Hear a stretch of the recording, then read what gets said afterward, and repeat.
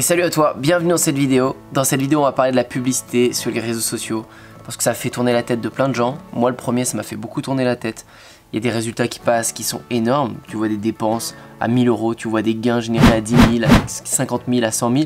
Et toi tu essayes ta campagne de pub, tu mets tes 12 euros, tes 50 euros et tu les perds. En tout cas tu les investis, mais il n'y a rien qui te rapporte, ça te, ça te fait rien. Ça te fait juste des visites sur ton site, mais pas de vente. Ça te fait des j'aime sur ton, ta publication, mais pas de vente ça te fait des ajouts au panier, mais pas de vente. Je vais t'expliquer quel est ce contraste entre les personnes qui ont vraiment des résultats en publicité, parce que moi c'est ce que j'ai fait le plus, c'est ce qui m'a rapporté la plus grosse part de mon chiffre d'affaires aujourd'hui, c'est la publicité. donc l'objectif c'est que tu comprennes vraiment comment l'utiliser pour que tu sois enfin rentable. Juste avant ça, je te fais un petit message pour te dire que le premier lien dans la description, c'est la possibilité encore de pouvoir réserver les coachings avec moi. Donc tu verras, faut remplir un formulaire. Je lis toutes les candidatures personnellement. Alors des fois, je mets 4-5 jours, une semaine pour te répondre. Si en tout cas tu me parais motivé et que je sens que je peux t'aider sur ton projet. Tu l'avais vu, je l'ai fait en septembre, mais je voudrais le faire encore sur ce mois d'octobre, cette sélection. Parce que la période de novembre-décembre, c'est la meilleure. C'est la plus simple aussi pour pouvoir faire des résultats pour les membres. Et j'ai un nouvel objectif. En fait, j'aimerais interviewer, aller à la rencontre des personnes que je suis en train de coacher en ce moment, là que je vais coacher pendant tout ce dernier trimestre et puis ensuite sur tout le long de l'année 2021 pour qu'ils parlent de leur niche, de dans quoi ils se sont lancés, que vous compreniez qu'il n'y a pas que la niche du make money qui fonctionne, même si moi je vous le prouve à travers tous les différents business qu'on a. Mais il y a tellement d'autres niches que moi j'aide et que je coach, et les personnes qui seront OK pour en parler, bah, je vais les interviewer. Ça vous fera des cas concrets et je pense que c'est la meilleure motivation pour vous. On a besoin de voir des business qui fonctionnent, on a besoin de voir que lui dans cette niche là, il arrive à générer autant. Donc c'est possible. Lui c'est pareil, en faisant que ça, il arrive à générer ça. Il y a plein d'exemples, mais c'est moi qui les vois parce que c'est moi qui les coach. Mais je me dis que le plus intéressant c'est vraiment de le partager avec vous. Donc je vais prendre un maximum de personnes, je vais vraiment travailler parce que de toute façon, on peut pas voyager. J'avais prévu des voyages, mais on peut pas bouger. Donc j'ai que ça à faire, aider les gens, travailler sur mon business de surf pour le Black Friday. Donc j'aurai largement assez de temps pour faire tout ça. Je vais reprendre quelques personnes sur ce mois d'octobre. Donc n'hésitez pas à remplir vos candidatures dans la description. Je vous parlerai du prix du coaching, je vous parlerai de comment ça se déroule, du suivi, etc. ensuite. Mais voilà, c'était pour faire ce petit message. Tu connais la chanson, comme d'habitude, n'oublie pas de liker, de t'abonner à la chaîne YouTube et de répondre à la question qui va être cachée dans cette vidéo si tu veux tenter de gagner un des cadeaux que je remets chaque mois. Alors, la publicité. Bon, ça fait tourner la tête de plein de gens comme j'ai dit, et moi le premier, parce que au départ, quand j'ai commencé, j'ai compris qu'il fallait du trafic, il fallait des gens et les youtubeurs que je regardais, bah, c'était des youtubeurs, ils avaient une communauté. Je me disais, mais moi, j'ai pas signé pour être youtubeur, et je veux. Enfin, comment on fait? C'est long d'être youtubeur en plus. Comment je vais faire pour avoir des gens qui passent sur ce que je vais créer, sur mes produits, sur les offres que je vais faire? Donc, oui, d'abord, il va falloir une offre et un bon produit. Parce que sinon, attirer du trafic, ça va servir à rien. Donc, pour ça, on a vu le dropshipping, vous connaissez. Il y a les prestations de services, vos connaissances. Vous pouvez partager vos connaissances dans un domaine, des formations, des coachings peu importe, il y a plein de choses possibles. Mais une fois que ça s'est mis en place, la publicité, ça va être votre test. Ça va au final être rapide parce que dès que c'est prêt, vous lancez une publicité et on voit si ça vend ou pas. Donc ça donne très envie parce qu'on se dit que dans une semaine, deux semaines, je peux lancer mon offre, je vais tout de suite être fixé si euh, je deviens riche ou pas. Alors que c'est pas vraiment ça. Pour moi, quand on fait de la publicité, maintenant avec le recul, hein, je pense ça, mais au début je pensais pas ça. Mais maintenant, pour moi, quand tu fais de la publicité juste avec une boutique que tu vas créer en une semaine et en dropshipping et tu fais de la pub la semaine 2, c'est ton pire test possible.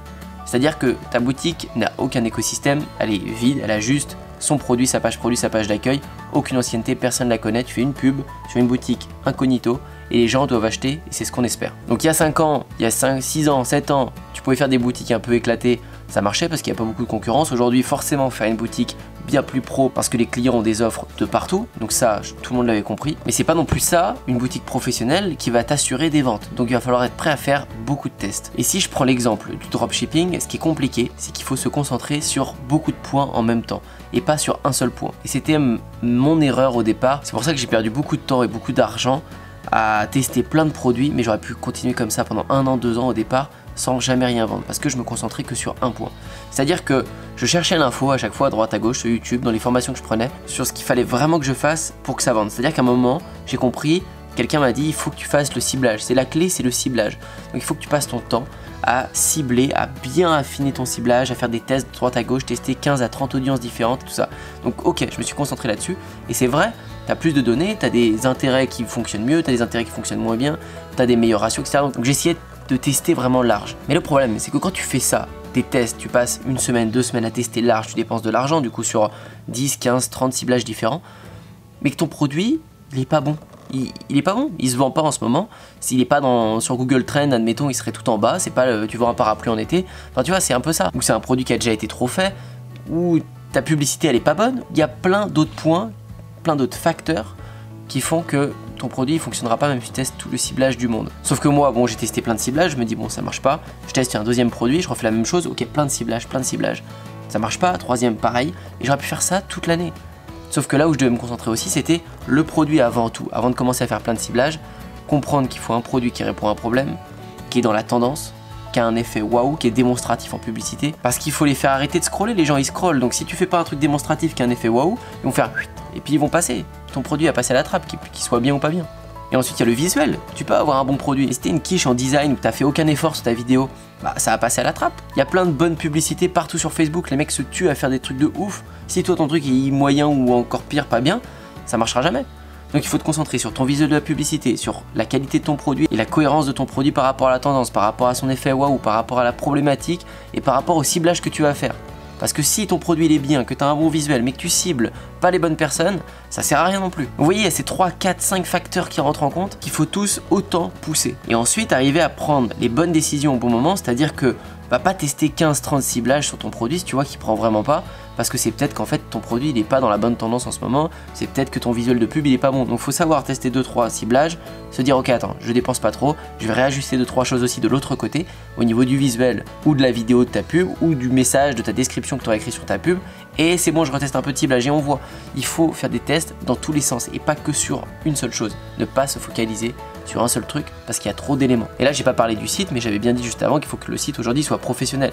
C'est aussi un des facteurs. Si ton site derrière il est éclaté, c'est mort, tu feras aucune vente. Et ça c'est valable sur tous les réseaux, je parle de Facebook, mais c'est valable sur Google, sur Snapchat Ads, sur TikTok Ads, tout ce que tu veux. Il faut se concentrer sur tous les points.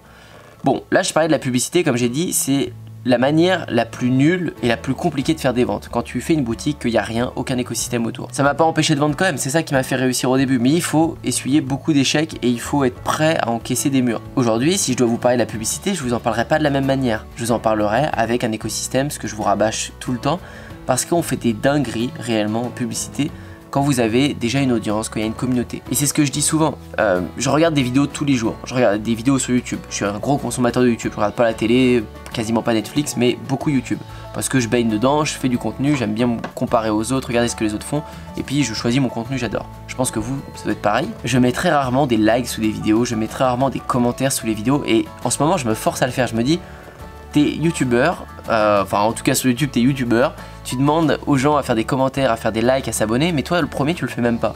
Donc maintenant j'essaye de me forcer à mettre des likes, à mettre des commentaires. C'est pas me forcer parce que j'ai bien aimé, mais c'est pas naturel. Souvent on regarde, on fait oh putain elle était géniale, à la rigueur je le partage même avec mon pote, on la regarde à deux et puis on ferme l'écran. On n'a rien dit, on n'a pas soutenu le, créateur. Et ça, mon cas là c'est la majorité parce que vous voyez souvent qu'il y a 10 000 vues sous la vidéo, il n'y a pas 10 000 commentaires ou il n'y a pas 10 000 likes sous mes vidéos, des fois il y a 800 vues, 1000 vues ou 5000 vues, il n'y a pas 5000 commentaires ou 5000 likes. Donc ce que je veux dire par là, c'est que les gens qui like et qui commentent, c'est des gens engagés. Il y en a dans la communauté, je vois, c'est toujours les mêmes commentaires.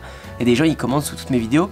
Et je les remercierai jamais assez. Parce que ça met en avant mes vidéos. Et moi, ça me motive à 300%. Mais donc, c'est des gens à qui ça plaît. En tout cas, ils le montrent. Ou alors, ils, partagent des opinions, ils partagent des choses. Mais imaginez si les gens qui commentent sous vos vidéos, vous pourriez les recibler. Si les gens qui like, vous pourriez les recibler. C'est tellement plus puissant, c'est du trafic tellement plus chaud que des simples personnes qui scrollent leur fil d'actualité Facebook et qui tombent sur votre pub comme ça, qui savent pas qui vous êtes, d'où vous débarquez. Bah, c'est ce que je fais, principalement sur mon business de surf, parce que je suis beaucoup plus axé marketing sur mon business de surf. On, a plusieurs produits à vendre, des produits physiques, des produits digitaux. il y a une plus grosse audience, une plus grosse communauté. Mais sous certaines vidéos, il y a 700, il y a 1000 commentaires. Et recibler rien que 1000 personnes, ou même plus, parce que je vais recibler plusieurs vidéos, pour leur proposer le nouveau produit qui vient de sortir, c'est très fort. C'est sur des gens qui se montrent, qui aiment votre marque, qui aiment votre produit. Il n'y a pas plus chaud que ce trafic-là. Ça, c'est une puissance de malade. Faites des publicités aussi sur le Google Shopping, j'en ai déjà parlé. Vous êtes à côté de grands mastodons. C'est ça la force, je trouve, de cet emplacement. C'est qu'on voit votre photo, on voit votre prix. C'est concurrentiel à ce niveau-là. Mais vous êtes à côté, moi personnellement, des fois je suis à côté d'Intersport ou de Decathlon ou de grosses marques de surf, Fly Surf, etc. C'est des grandes marques que les surfeurs connaissent. Mais t'as le petit surf qui est dedans, qui est au milieu et qui se balade dans le Google Shopping. Donc les gens, ils accordent leur confiance. Ils savent qu'il y a les grandes enseignes à côté. Si t'es au milieu et que ton image est plus belle que ton prix est concurrentiel, les gens vont aller dessus et tu risques de déclencher des achats. En fait, pour moi, la publicité, c'est un atout de malade aujourd'hui sur les réseaux sociaux. C'est ce qui m'a fait réussir ce que j'ai dit au début de la vidéo. Mais quand t'as qu'une boutique simple, avec aucun écosystème autour, si t'as pas de produits digitaux, que t'as que des produits physiques, ou que au contraire t'as que des produits digitaux et t'as pas de produits physiques, en fait, tu peux pas t'amuser et utiliser le plein potentiel des réseaux. Moi, j'utilise Google, YouTube, Facebook, Instagram, TikTok Ads, Snapchat Ads. Ils ont tous un rôle précis. Tu dois t'amuser et faire des combinaisons et des circuits cohérents à travers les réseaux.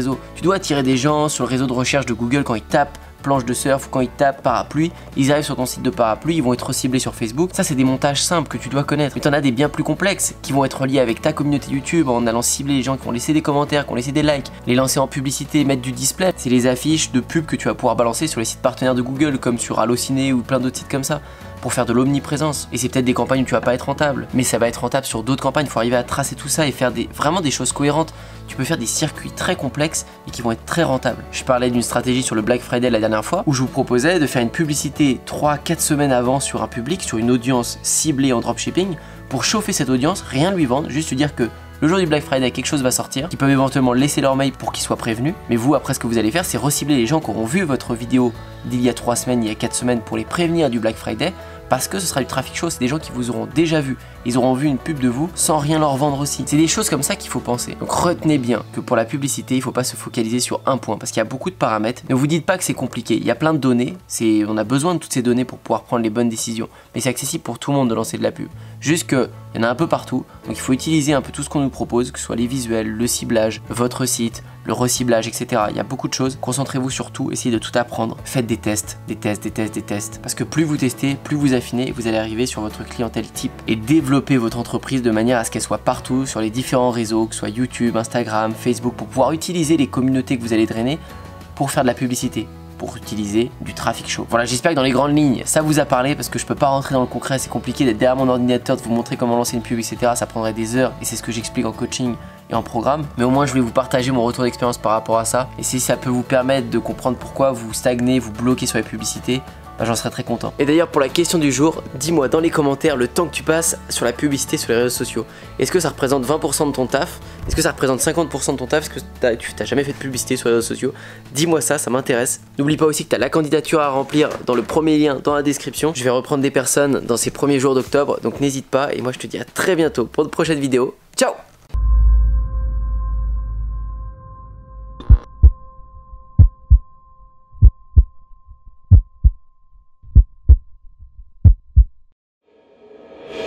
bah, aujourd'hui, euh, je suis indépendant. Et je peux le dire, c'est vraiment grâce à Antoine. Euh, Antoine Bougan, qui est un super entrepreneur que j'ai d'abord euh, connu à travers ses vidéos YouTube et ensuite j'ai eu la chance de le voir en vrai et surtout de l'écouter à travers une conférence qu'il a fait à Paris. Je suis à Los Angeles du coup pour quelques semaines. Merci Antoine, c'est grâce à toi, c'est grâce au sous que j'ai pu gagner grâce à toi. Antoine Bougan, il y a quelques bons formateurs sur internet qui, donnent des, bonnes choses, mais pas autant que lui. Hein. Vraiment, lui, sa formation, elle est au top. Mais c'est surtout le plus important, le suivi d'Antoine. Merci Antoine. Type vraiment génial. Business de 4300 euros. En un mois. Ça va changer la vie de beaucoup de personnes. Je recommande Antoine Lungan. La plus belle connaissance que j'ai eue depuis que je suis, depuis très très très longtemps. Je te remercie. Merci. Je te remercie. Merci à toi Antoine. Ça va changer la vie de beaucoup de personnes.